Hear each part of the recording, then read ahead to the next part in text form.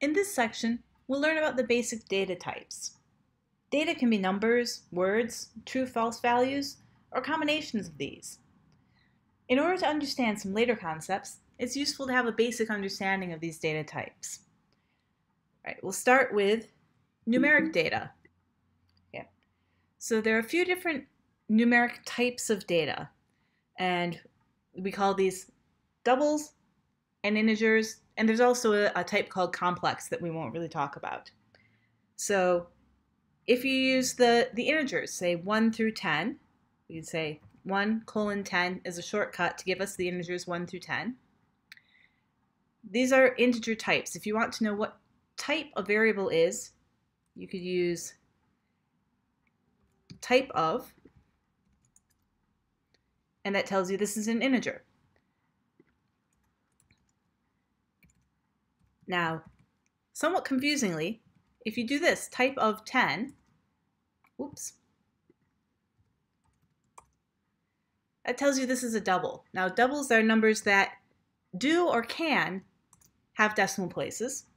Um, now, if you just type the number 10, it will assume that this is a double type, and if you want to say that it's an integer, it can't possibly have any decimal places, you can put the letter capital L after it, and that tells R that you mean this to be an integer. This is a kind of number that can't possibly ever have um, fractional parts, like a count maybe. Um, when you use the shortcut 1 colon 10, that means everything should be an integer, and those come out as um, integer types.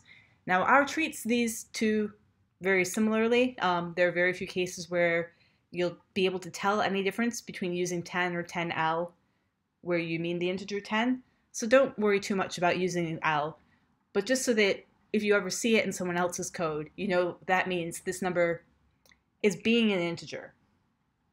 Um, if you want to know if, if some variable is a number, so let's say we'll make n equal to 10.3 and m will equal um,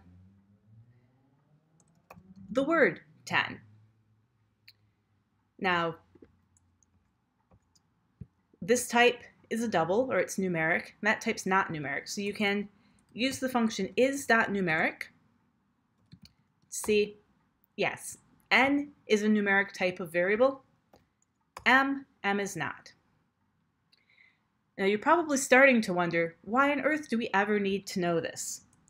Um, remember we created that data table, avatar, with the names, the bending types, and whether or not characters were friendly. When we look at this data frame, we can see these little um, words inside of brackets here, in angled brackets, CHR, CHR, and LGL. And that stands for character and logical types. You can also use the glimpse function to look at avatar and that will give you some information about your table. So it tells you the name, the character type, or the, the column type, so character, character, or logical, that is true or false values. Um, and will tell you if they're numeric, double integer types as well. Okay. So character is the next data type that we have. And we've already seen a character type. So M, remember, was the word 10. If we want to check and see is a variable um, or a value a character type, we can use is.character and see that, yes, m is a character, n is not. You might also hear characters called strings. Um, characters or strings are just values that are between quotation marks. Even if those values are numbers, if they're between quotation marks, they're treated like words. If you want to create a, a character string that has quotes inside of it, that can be a little bit tricky, but we can make a quote that is a quote. So you start your double quotes and then you use a backslash to what we call escape the your next double quotes. This is quoted and then we have our ending double quotes and then the real end of the string. So this first quote and this last quote um, tell R that everything inside of here is a string. And the backslash says this isn't really the end quote. This is, um, we want the character, a quotation character in here. So when we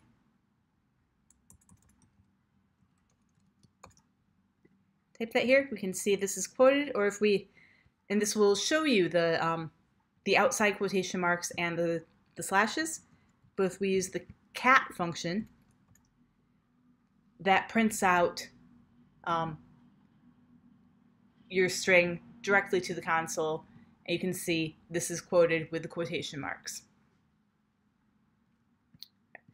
The next data type that we're going to look at is logical. We've talked about logical data already inside the avatar um, data frame. So logical data are true or false values. They're also sometimes called Boolean values. Um, in R, we always write them in uppercase, T-R-U-E or F-A-L-S-E. You'll see that R kind of treats this like a function until we hit the last letter and then it turns blue to tell you that this is a special type of, of variable here. So we can set our object called is true to true is false to false here. You can also use, and you can see these values up here. You can also use the shortcuts, capital F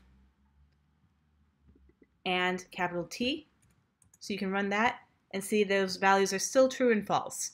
Um, I recommend not using this because of a few quirks where you can mess it up and that the letters T and F often mean other things in statistics that you don't want to overwrite. So just use TRUE and FALSE as your true and false values. Now you can also often see people using zeros and ones for true and false values.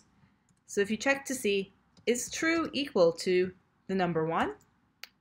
You'll find, yes, it is. Um, and that false is equal to the number zero. Um, now, this is because when you check to see if two different data types are equal to each other, but they're not the same the same kind of data type, R will change them into the more compatible data type.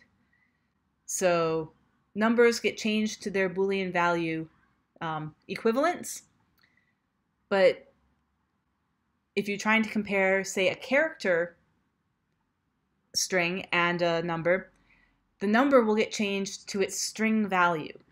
So if you want to see does 10 equal the string 10, you'll see that's true. But this can give you a really weird result. And you could find that check see is 100 greater than 9? That's false because it's changed the number 100 into the word 100 and then is alphabetically comparing these. And alphabetically, 100 comes before 9. So you need to be a little bit careful about data types. This is why we're teaching you about data types, so that you can avoid potential problems like this.